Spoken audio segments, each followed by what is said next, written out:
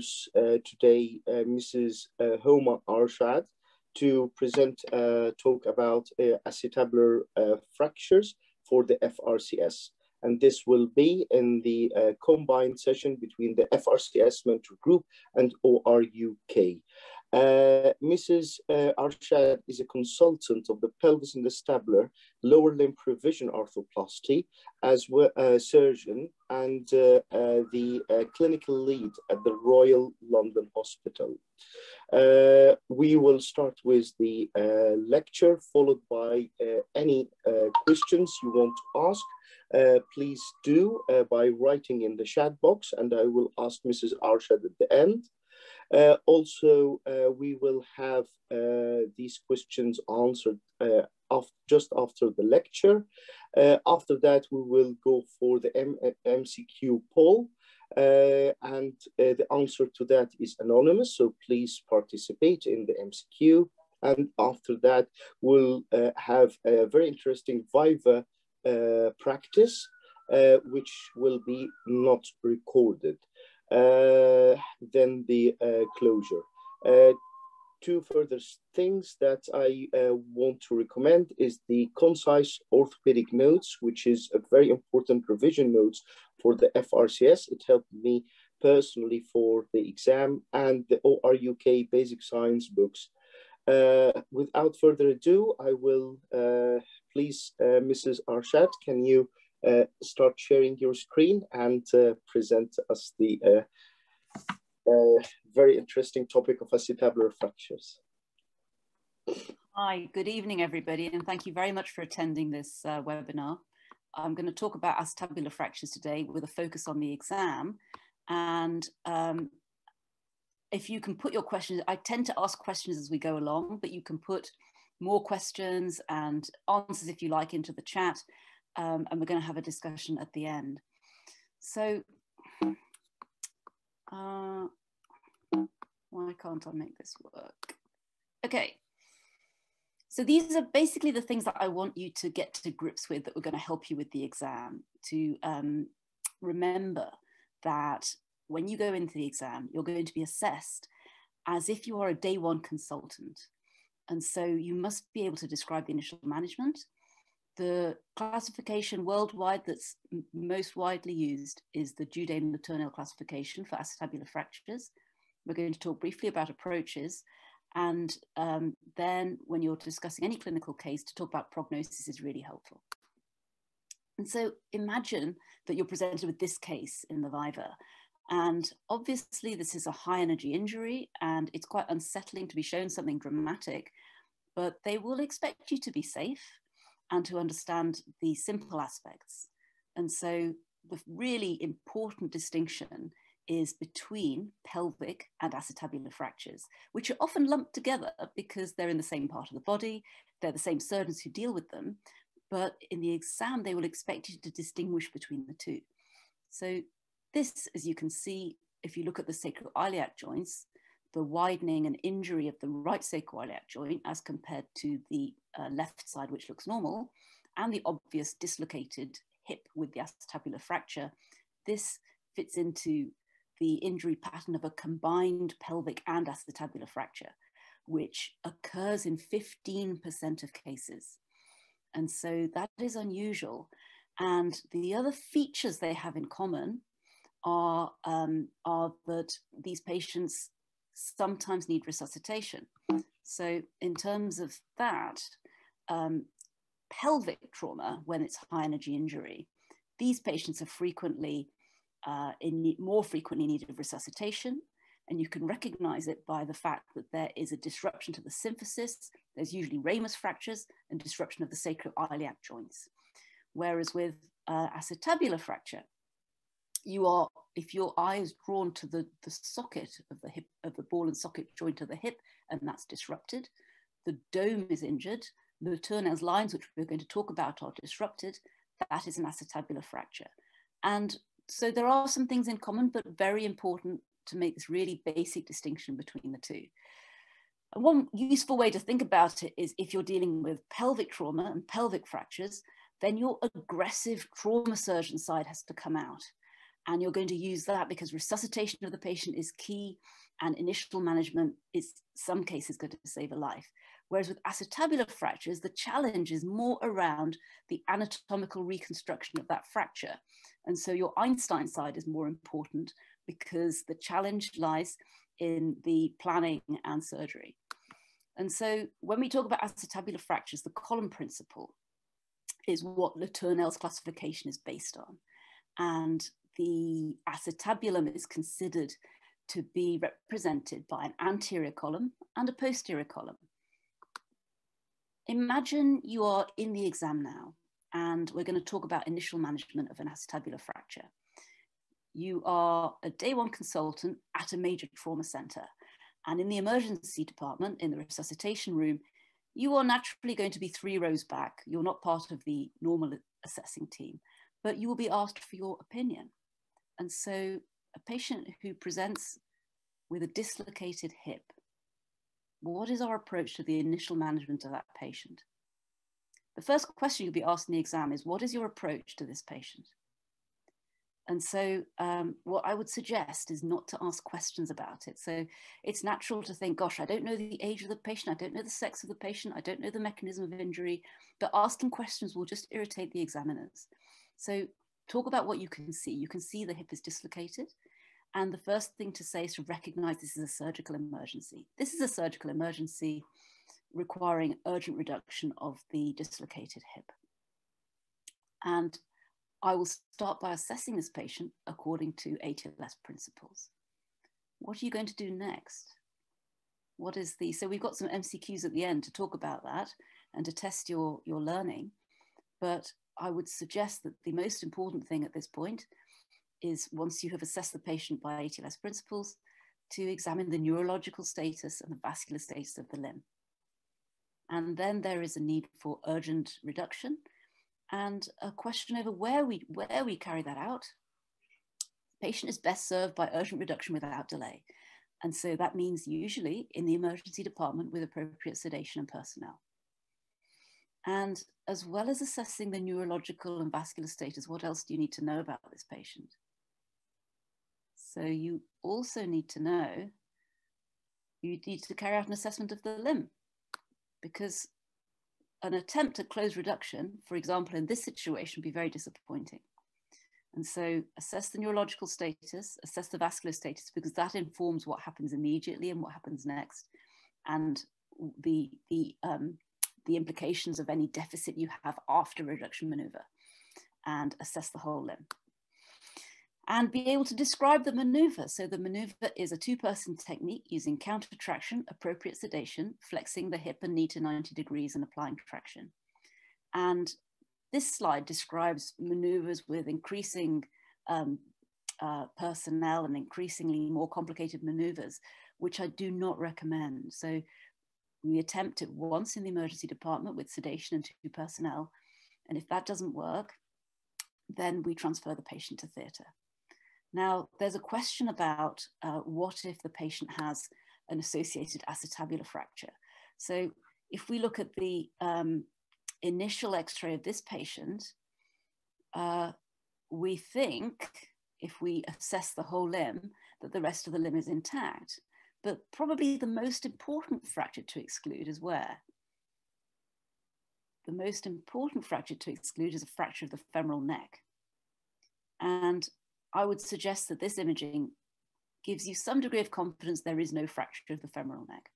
And so you can safely perform a, a reduction maneuver. But if in doubt, then you want to carry out a CT scan. And if you suspect an associated acetabular fracture, it's good practice to carry out a CT scan to understand what you're dealing with, and then carry out an attempt at closed reduction. So this is a different type of dislocation. The majority of dislocations occur with dashboard injuries, and uh, are a posterior dislocation. This is an anterior dislocation. And with a posterior dislocation, the limb is shortened, internally rotated. With an anterior dislocation, the limb is externally rotated and the maneuver is quite different. So the leg will be in a completely different attitude and the maneuver you need to do to re relocate this is also different. You apply traction but also you need to apply direct pressure to the femoral head to push it back in place.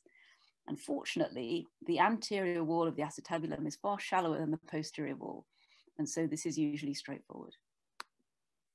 So, to summarize native hip dislocation, it's a surgical emergency. If you don't think there are any fractures, then the most important initial maneuver is to assess the neurological status and the vascular status of the limb um, and carry out an urgent reduction with a CT scan if you are concerned about the femoral neck. Uh, the, uh, as long as the neck is intact, associated fractures around the acetabulum, the initial management is the same. But if you try and it won't come back closed, and it won't come, you don't have, it won't come back closed even in the operating theatre, or there's a delay, then you need to make sure you have the right people there, or the patient is in the right environment for an open reduction, which could be with a hip surgeon familiar with the posterior approach who understands how to explore the sciatic nerve and urgent immediate transfer if necessary. So moving on to acetabular anatomy, um, the column concept is key. And so the anterior column, you can see here in green, is far larger, with the posterior column being a much more limited structure. And we're going to talk about how they're represented on uh, x-rays and how to differentiate them on CT scans as well. So the um, these lines, what are these lines called? These lines are really useful for defining the um, acetabular anatomy. They're known as Letournel's lines, and they are um, uh, represent each important anatomical part of the acetabulum. So starting with the iliopectineal line, this represents the anterior column, and you can see the anterior column here in green, a very extensive structure, including most of the ilium, the anterior, superior, and inferior iliac spines, and the um, pubic um, symphysis, um, and the, the, if you were to look down onto a bony pelvis, you don't see a line. The, the line is um, an overlapping condensation of cortical bone that you see on a plain x-ray. So it's important to recognize that. The ilioischial line represents the posterior column. Again, starting from the medial border of the ischium, going up the ilium and round to the sacroiliac joint. And the posterior column is a much more limited structure. You can see here the, the ischium and the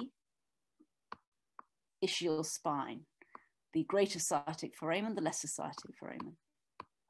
The radiographic teardrop is, remember, you're not going to, this is not a structure that you see looking down onto the bony acetabulum. This is a image, a representation you see on, a, on, a, on an X-ray, on an AP radiograph. And this represents the medial wall of the acetabulum. The radiographic roof represents the dome. And then the anterior rim and posterior rim represent the margins of the acetabulum. The anterior, and they can be quite difficult to see. So one tip is the anterior rim. If you follow the inferior margin of the superior pubic ramus to the edge of the acetabulum, you can pick up the, um, the anterior rim that way. And the posterior rim, if you follow the uh, lateral border of the ischium upwards, you that picks up a line that runs into the um, posterior rim, representing the border of the posterior wall of the acetabulum. And so these lines, um, Letournel's lines, are really useful when it comes to defining what the fracture is and fracture classification. And the, the system, Letournel's system, describes five elementary and five associated patterns based on two columns and two walls and it's it can be when I was a trainee, I found it quite difficult to get my head around this, but actually um, uh, uh, these um, uh, uh the classification can be um, quite nicely described by um, dividing it into groups. So if we think of posterior um, fracture dislocations, um, the elementary fractures are posterior wall, posterior column. The associated fractures are transverse posterior wall, posterior column posterior wall. And note here that the, there is one of these associated fracture patterns, more than one fracture line, that does not cross both columns. So one of the pitfalls of answering questions on acetabular fractures is to see something that looks complex and say as a sort of reflex, this is a both column fracture. And it isn't always. It could be posterior column, posterior wall. Pay attention to your Letournel's lines and you won't get caught out. Elementary anterior injuries, anterior wall, which is actually quite rare. So an anterior wall, if you see that on a CT scan or you see a report saying that, or you, you think you're seeing that, it's more often actually the root of ramus, which is right at the border of the acetabulum and represents a pelvic ring fracture. Anterior wall by itself is, is unusual. And so it's actually often a root of ramus and a pelvic ring fracture, or um, rarely associated with an anterior dislocation. Uh, anterior column, uh, again, is unusual. Much more commonly, a fracture, an anterior column fracture has a posterior element to it. And the associated type is anterior column posterior hemitransverse, which is one of the very, one of the, the most common um, fractures of both columns. And then we have transverse and T-shaped. So the transverse fracture is an elementary type fracture, single fracture line crossing both columns, whereas the associated is um, a T-shaped fracture with a single fracture line crossing both columns and a second fracture passing inferiorly. So um, I must remember these images come from my colleague Julian Cooper in Birmingham. So thank you for those. He's keen for them to be used for teaching purposes. Associated both column fractures have particular features that you can uh, pick up really easily and impress examiners with. The fracture is a complete articular fracture. So the part of the ilium which is most posterior is um, uh, separated. So if you look at the where the fracture lines are here, the um, acetabulum itself has no connection with the sacroiliac joint and the axial skeleton. It is completely separated by fracture lines. And as a result of that, the whole of the acetabulum tends to be displaced medially and it occupies a position in the pelvis where it looks often like an acetabulum. You have this secondary congruence where the fracture fragments come to lie in a position around the femoral head. And we call that secondary congruence. Um, and so we'll talk about the features of associated both column fractures because it's really um, pretty straightforward. So this is an axial CT scan of an associated both column fracture. And you can see here there's quite an extensive anterior column fracture. This is the constant fragment, follow it down. And as you follow it down, you can see that it's separate from the rest of the acetabulum. The rest of the acetabulum is medialized and there's no connection between the fracture fragments and that constant fragment that we saw higher up. So that is an associated both column fracture. And if we look at the um, uh, coronal part of the CT scan, we can see that. And often in the exam, they'll show you one or two images, but it will have the salient features on it. So we can see that the, the fragments of the dome and the acetabulum are quite medialized relative to the, um, oops, relative to the um, uh, constant fragment. So this is the same scan. Here's the constant fragment, posterior column, and you can see here posterior column. There's the fracture line, and you can see the whole of the acetabulum has medialized relative to the um, relative to the uh, constant fragment and the um, uh, posterior column and the uh, the sacroiliac joint and the rest of the skeleton. The where compared to where it should be, it's medialized and it's, it's got this um, secondary congruence with um, fracture fragments just lying around the femoral head. Um, and so uh, another useful uh, feature to look out for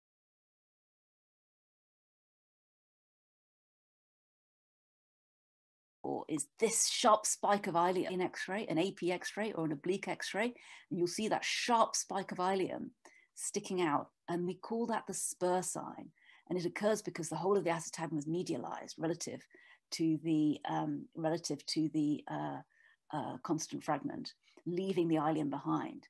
So features of an associated both column fracture, secondary congruence, medialization, and the spur sign. Okay. So what about prognosis? So you can see that this is a, this looks like a, a, a you know, acetabular fractures comes a spectrum. Some can be completely undisplaced, visible only on a CT scan. Some can be very displaced. And so, and there are different fracture patterns. So um, they vary in terms of prognosis. And so what do we know? Which are the fractures that are going to be most problematic? And um, when we talk about prognosis, we're talking about, we're not talking about death of the patient, we're talking about death of the hip, as in the hip ending up in a total hip replacement. So um, in terms of that, um, what do we know about who, which patients are, are likely to end up needing a hip replacement? Um, because this informs how we, how we advise them and uh, how we follow them up and uh, an understanding of what needs to happen next.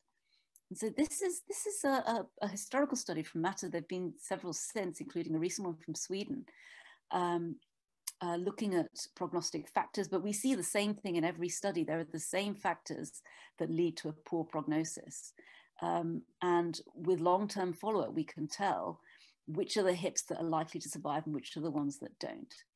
And posterior wall. So is posterior wall a simple, it's a simple fracture. Surely that could be a, a, a good one to have.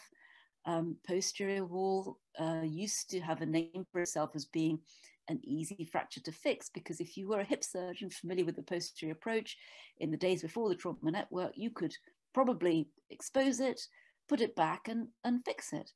Um, but even in the hands of experts, posterior wall carries a poor prognosis. And the reason is the associated complications from surgery, including sciatic nerve injury, atopic ossification, and uh, the need for hip replacement because of secondary osteoarthritis. And so posterior wall carries a poor prognosis. Initial displacement, so very displaced and then there are many features here that are a feature of fragility fracture of the acetabulum but can occur at any age. So uh, the, the most, the clearest poor prognostic indicator for a patient ending in um, hip replacement is age. The older you are, the more fragile your bone tends to be, and the more difficult it will be for that hip joint to recover from a, a catastrophic injury, even with an attempt at anatomical reduction. And so the other features that, that can happen at any age, but are really a feature of osteoporotic fractures or fragility fractures, are femoral head damage, marginal impaction, um, incongruence, uh, and uh, difficulty achieving an anatomical reduction. There's also something here about the extended iliofemoral approach, which we'll talk about briefly later. So what's this? Do people have people seen this before? Do, is there um, people have experience with with noting this on the on the perhaps on the CT scan? Uh, so uh, you see it when it's very obvious on a plain X-ray, but actually a CT is needed to see this when it's more subtle. And this is the seagull sign. So the seagull sign represents serious, significant dome impaction, which is basically crushing of cancellous bone as the femoral head is driven up into the acetabulum. It's a feature of acetabular, of acetabular fractures, fragility fractures of the acetabulum, but it can occur in any age and it's a poor prognostic sign, reflecting a need often for total hip replacement surgery rather than fixation alone. Uh, and so marginal impaction, so this is the CT image and you can see um, the image on the right shows um, huge incongruency at the lower end of the screen. You can see follow the socket around the femoral head and suddenly you can see the shape of the socket, but it's been pushed back um, towards the medial wall by this impaction. And so in a young patient, what we do is elevate that impaction, uh, put a bone graft, often from the great trochanter, into it, and try to restore the congruency, congruency of the, of the hip joint. Uh, this is a, a, a, a, surgical image. So you can see there the um, chondral bone of the acetabulum has been pushed back to a seriously non-anatomical position and left like that, this hip will have a poor prognosis. So hip replacement surgery acetabular fractures is not straightforward. Um, often uh, to take to take the displaced acetabular fracture and end up with a stable hip replacement requires some to some extent often some reduction of the fracture, and there are different strategies. So to summarize that, reduction of the fracture and total hip replacement surgery, or use of a cage type implant which bypasses the fracture. Those are the, the, two, uh, the two main strategies. Um, and this is, this is, you can see the amount of metal that's been put in here. There's an anterior column plate, a medial plate, two posterior column plates, um, a modular acetabular component of the hip replacement, allowing maximal bony contact and adjustment of um, the direction of the bearing surface for maximal um, fixation and maximal stability. Um, so these are cases that are associated with a higher complication profile. Okay, approaches um, are basically anterior and posterior. And I would say really learn your approaches for the exam because they are a gift. And if you have an opportunity to talk about them, you can just run through the steps. And as long as you uh, are confident and accurate with describing, um, that will be very satisfactory to the examiners.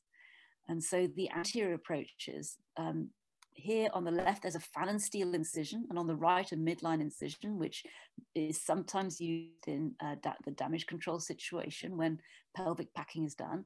And so you occasionally find yourself in a situation where you want to do an anterior approach, and the patient's already had a midline laparotomy, and you want to use the same, same scar, same incision. So you can.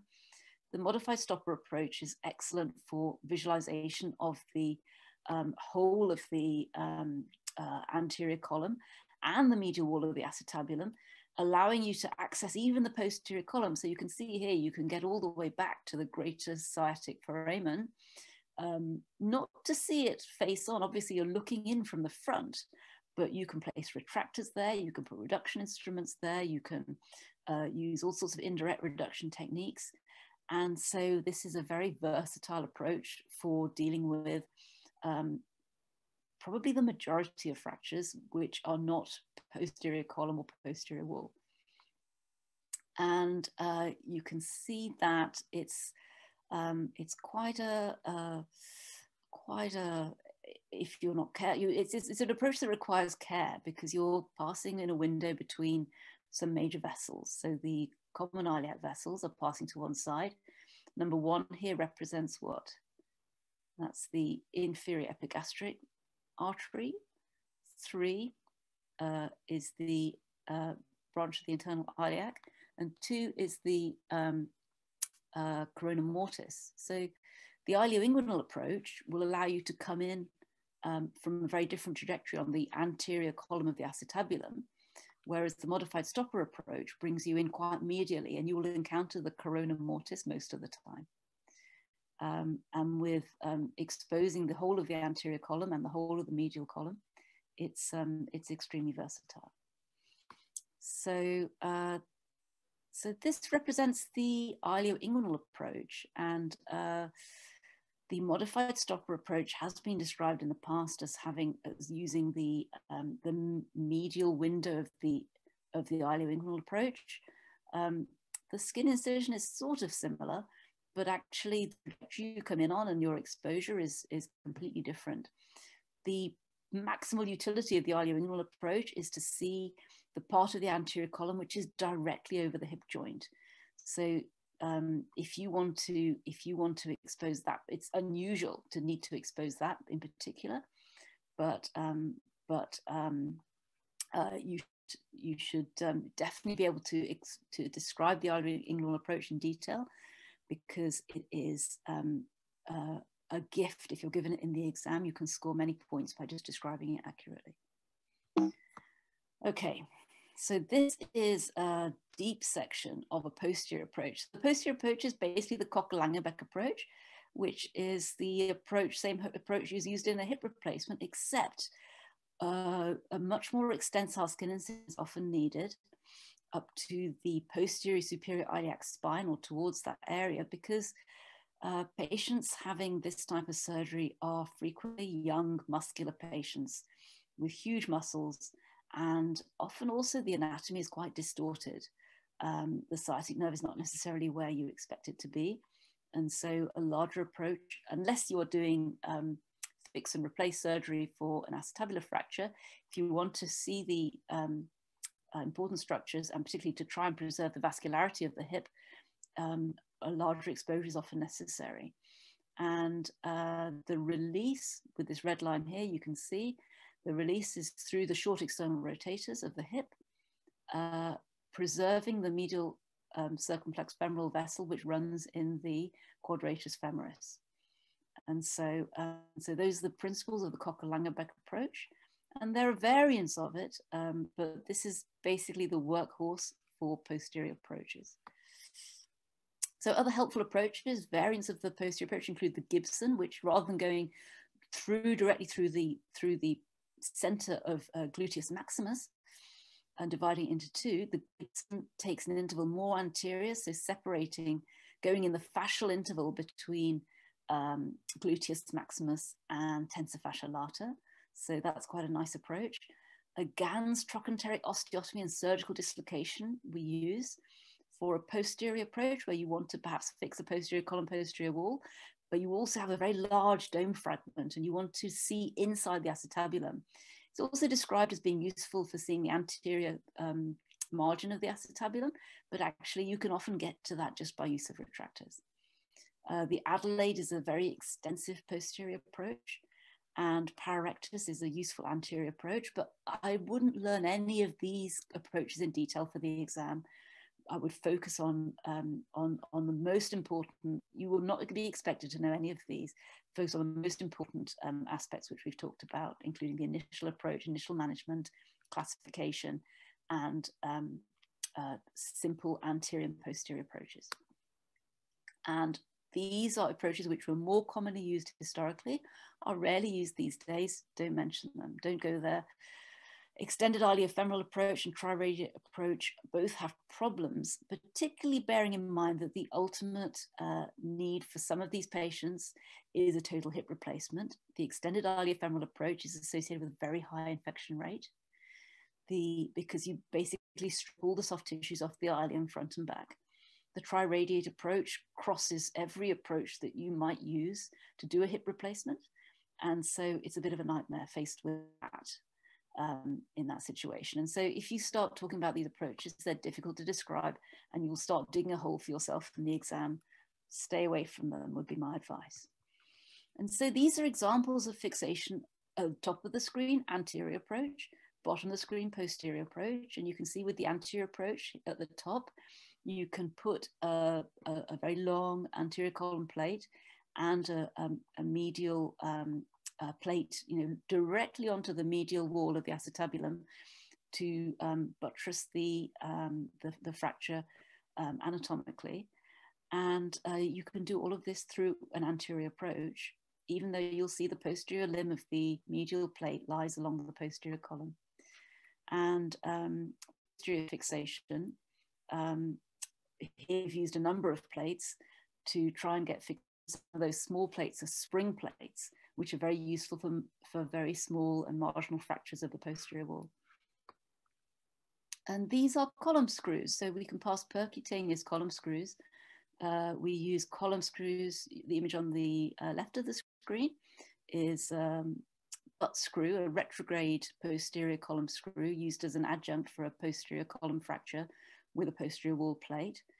And the image on the right of the screen for an undisplaced acetabular fracture, the indications are very limited. So polytrauma, patients who are unable to mobilize due to pain are probably the two most important indications for um, putting these. These are two um, antegrade anterior column and posterior column screws. Occasionally useful technique. Probably most often used if um, one column is undisplaced and the other needs an open approach.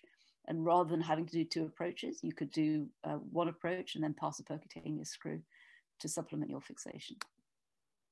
So to summarize um, acetabular fractures, um, X-ray and CT are complementary to each other. Um, the lines of the acetabulum will help you with diagnosing the problem and planning what you need to do. Marginal impaction is often quite subtle and can often only be seen on a CT scan. And so um, uh, CT scans also useful to see loose fragments. Um, and we've talked about the predictors of a non-anatomical, um, uh, sorry, predictors of um, uh, a poor outcome resulting in total hip replacement, with age being the strongest predictor.